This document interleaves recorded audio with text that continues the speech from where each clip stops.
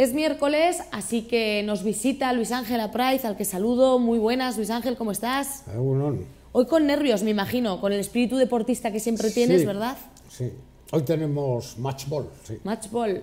Ya has- te he oído analizar por ahí, fuera de Sí. cámaras con John, los dos partidos jugados por el Vasconia en Tres fallos Barcelona. seguidos en un minuto, eso es imperdonable, claro.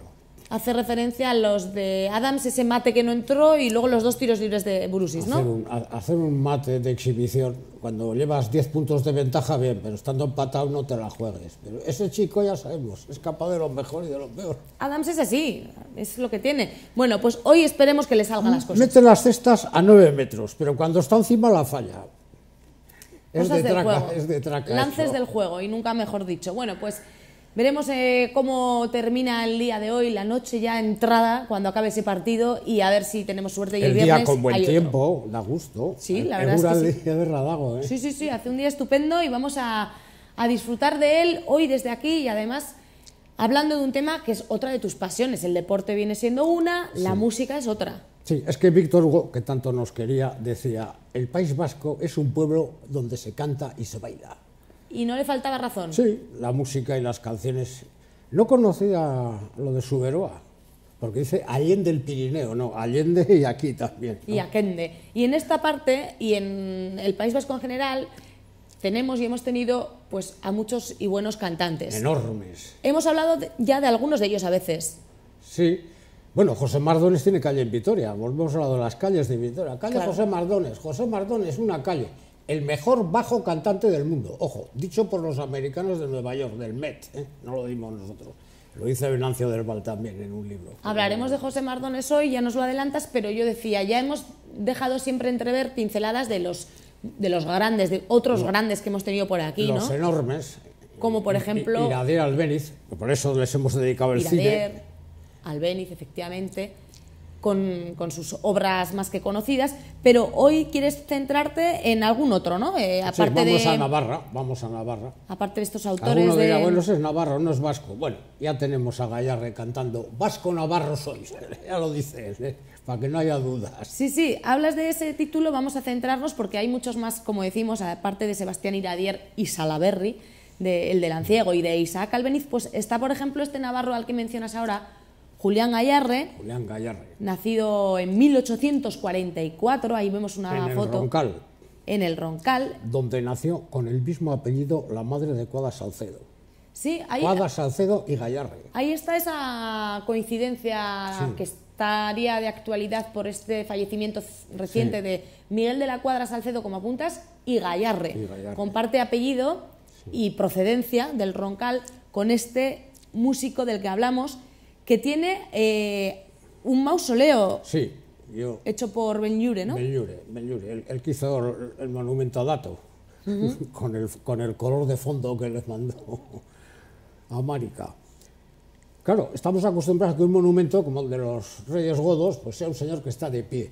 Pero este, este monumento tiene, Este tiene monumento mensaje, tiene sí, mensaje. Está construido en, en mármol, En blanco, y, en bronce. bronce. Y está decorado en sus frentes, en los frentes en blanco, Sí. por unos niños que están cantando libretos de las óperas más célebres que cantaba él. Él triunfó con la favorita, tema española, Alfonso XI. Ajá. Y en el mausoleo y, quedan y las interpretados. figuras femeninas que lo rodean representan la música, la armonía, la melodía y la fama. Eso es, hay cuatro yo- yo creo que figuras es el monumento más bonito que he visto en mi vida. Además, ya digo, con mensaje muy descriptivo en el Roncal, el mejor tenor del mundo indiscutible del siglo XIX. Para ti, sin duda, el- este Julián Gallarre. Y para el zar de todas las Rusias, que lo invitó a cantar en aquellos tiempos. Que por cierto, estaba cantando Gallarre, el zar estaba muy ocupado, porque mandaba desde Rusia hasta Siberia, entró, le interrumpió, le pidió perdón. El zar de todas las Rusias le pidió perdón a Gallarre. A Julián Monumental Gallarre.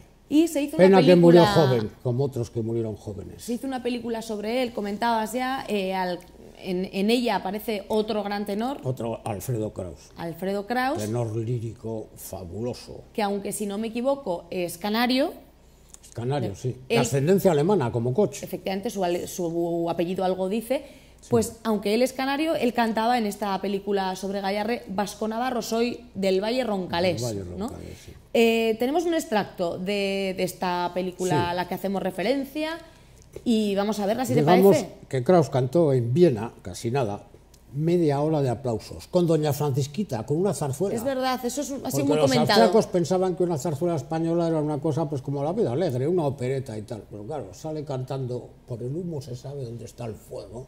Se cayó el teatro, media hora de aplausos. Alfredo Kraus.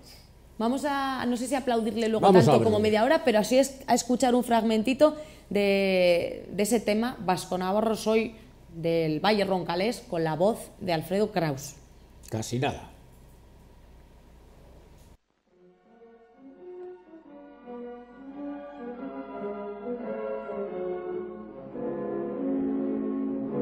Vasco Navarro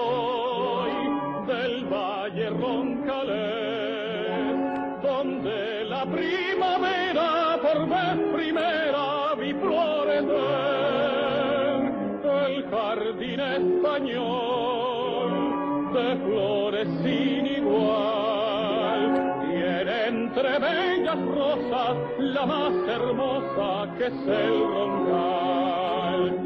Gozosa el alma canta y de mi garganta surge la voz para esta tierra mía con alegría en el corazón.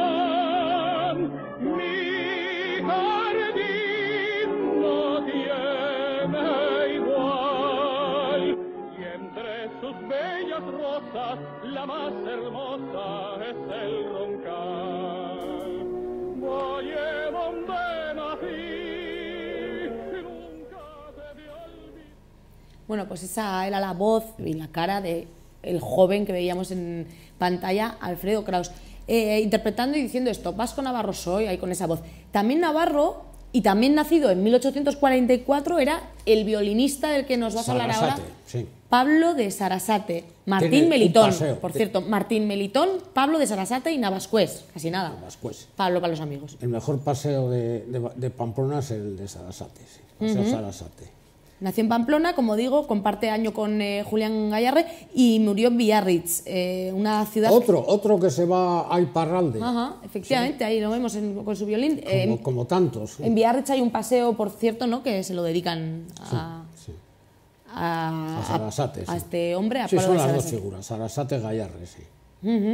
El- Hablas de un compositor de ópera española, eh, bueno, de la ópera Marina. Marina, los Eh, papeles masculinos me los sé enteros. Ya dije ¿Sí? que cuando voy a Barcelona los voy berreando, no cantando, Ajá. berreando. Bueno, Marina es muy popular, la gente se acordará eso de a beber, a beber y a apurar, y la salida del tenor, Costa las de Levante, Playa la de Lloret. Es una maravilla.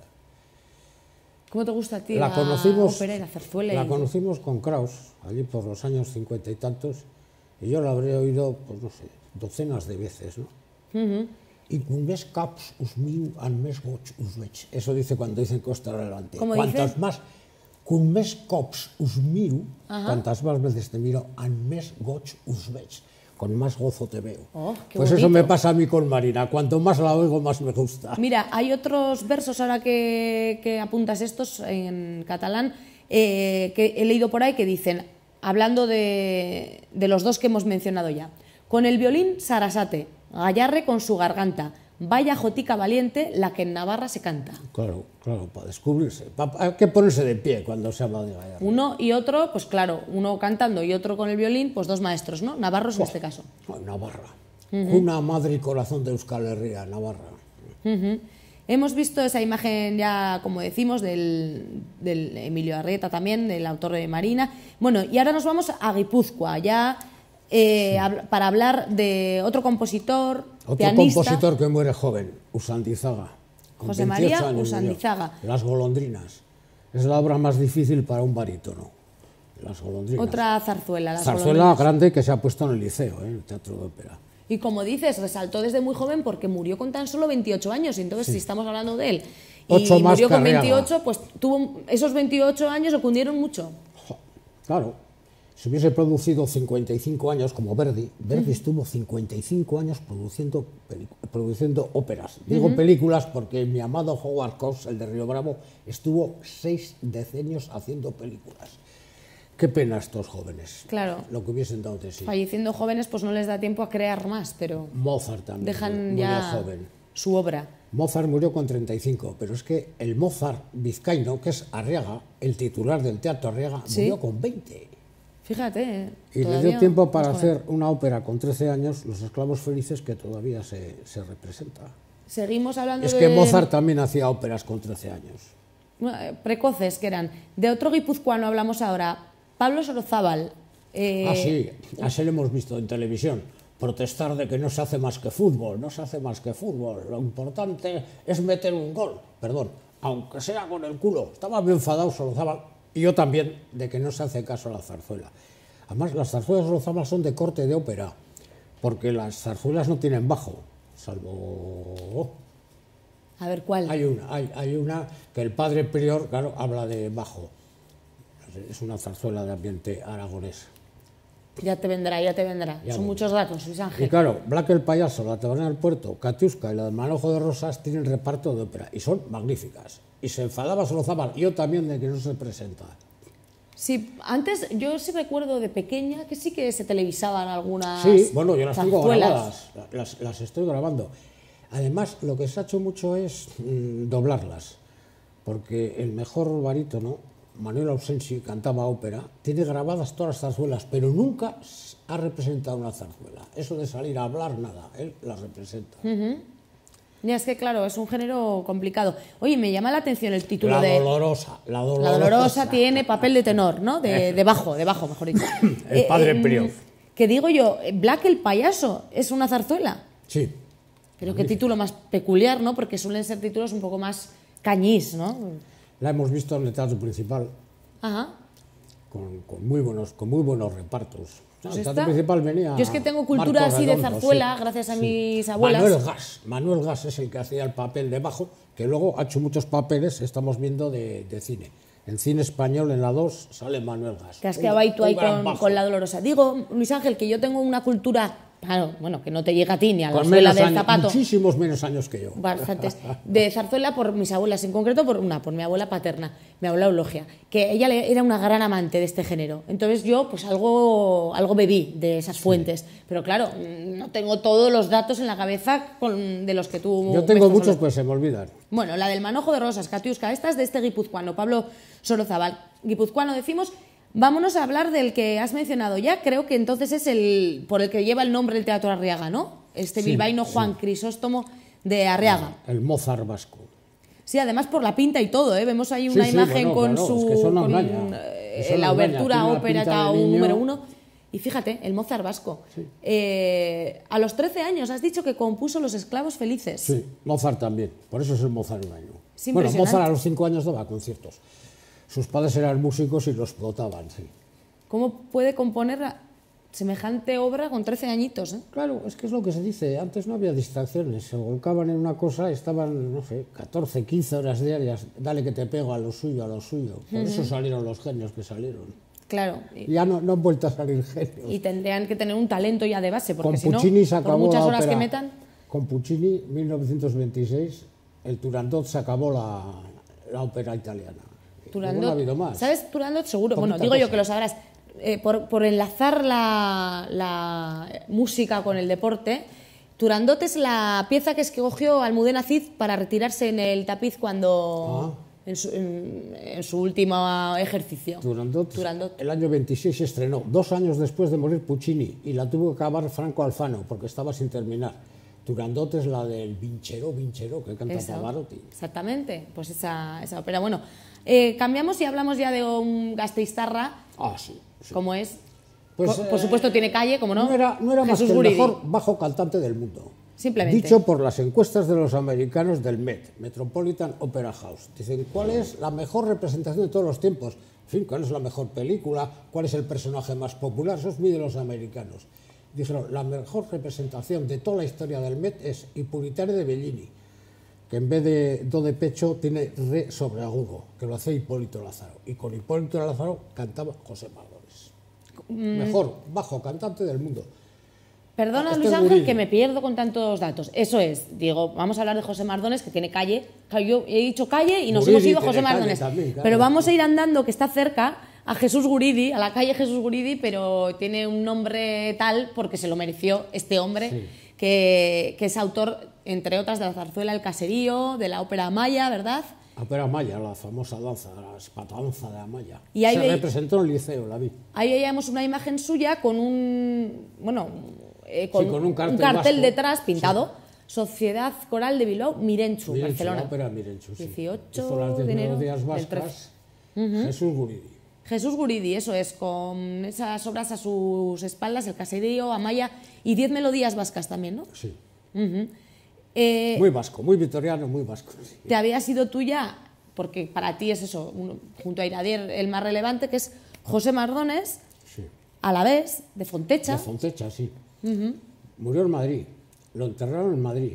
Y Venancio del Val, que le dedicó el libro, hizo las gestiones para que lo enterraran en Fontecha. Estuve yo en Fontecha con Venancio del Val, el diputado general y las nietas de Mardones, en Fontecha. Otro alavesico que ha querido volver. y el mejor bajo cantante del mundo, como dices, así lo consideró la Metropolitan Opera House de Nueva York, que queda como, bueno, vamos. Hay un disco, así como hablé de libros que me llevaría, hay un disco que yo me llevaría, que es Marina, con José Mardones, Hipólito Lázaro, mejor tenor del mundo en su tiempo, Marco Redondo y Mercedes Capsir. Es un monumento, es del año 28. Marina, Los eso- técnicos dicen que, claro, que, la- que no suena bien la, la- la música, la Y no, orquesta. no me ha dado tiempo a mí, no hay en YouTube nada de José Mardones interpretando esto, pues Marina, por ejemplo. No lo sé. El disco lo tengo, claro, del año 28. O sea, que existe la, la pieza acústica para Sí, sí, poner un y poco, no sé, una, Hay, hay algunas. una hay- melodía hay algún para disco, acabar. Hay algún disco de José Mardones, una voz de trueno. Un viejo que lo había oído dice, parece que cantaba con los tacones, de, de lo, abajo, de lo abajo que le salía la Llegaba voz. abajo, ¿no? El- hemos visto un libro eh, de la Diputación Foral que nos has aportado una foto Sí. de alaveses célebres, obviamente, y ahí veíamos a José Mardones, el mejor bajo cantante del Venancio mundo. del Val. Por Venancio del Val. Cantó toda su vida. Cuando era muy mayor, cantaba en la parroquia de San Pedro. Era muy de la ópera, y claro, hizo el, el libro de José Mardones. Hay que tener en cuenta, como decimos, nuestro callejero se debe a algo y muchas calles tienen nombres de ilustres alaveses, de ilustres vascos, de ilustres que lo son por algo. Y en esta ocasión, muchas calles de Vitoria tienen ese trasfondo musical. En, en concreto, José Mardones es una de ellas, y Guridi. Y Pues los cines, eso, Iradier y Albeniz. he lanzado yo el guante, no sé si en YouTube le ha dado tiempo a nuestra compañera Estivaliz a, a buscar algo de ello. Ahí estamos escuchando esta... Esto es Marina. Esto es Marina.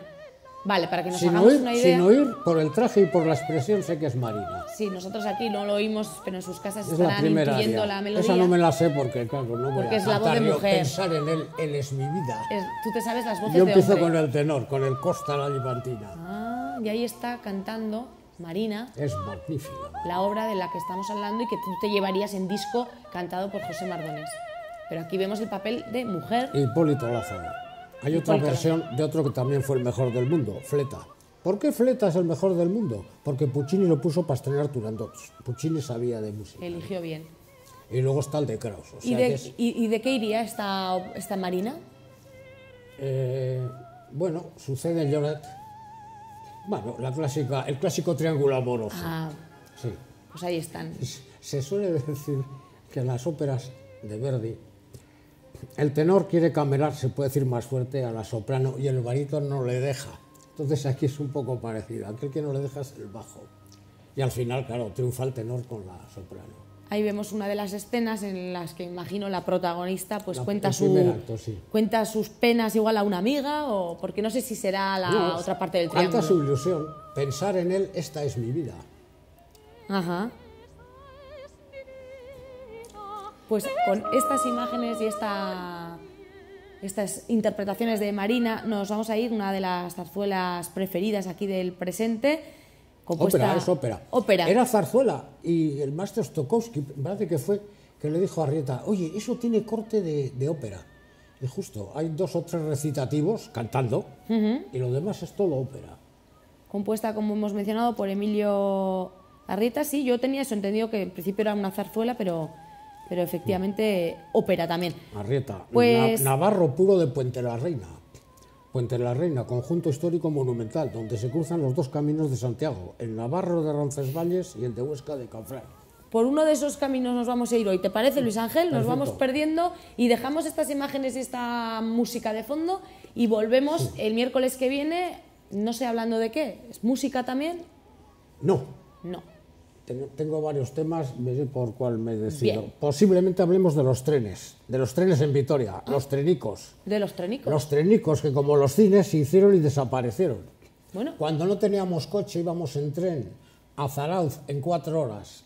Hay fíjense, mucho tema ahí. pues de los trenes, con la música a otra parte nos vamos hoy, pararemos en esa estación la siguiente semana, el miércoles. Gracias, Luis Ángel. Encantado. Como Igualmente. ¿Y les parece? Escuchamos un poquito más de Marina, si nos queda cola por ahí, que se llama técnicamente, y a continuación los deportes con John Dos Santos. Es que Marina empieza a vivir.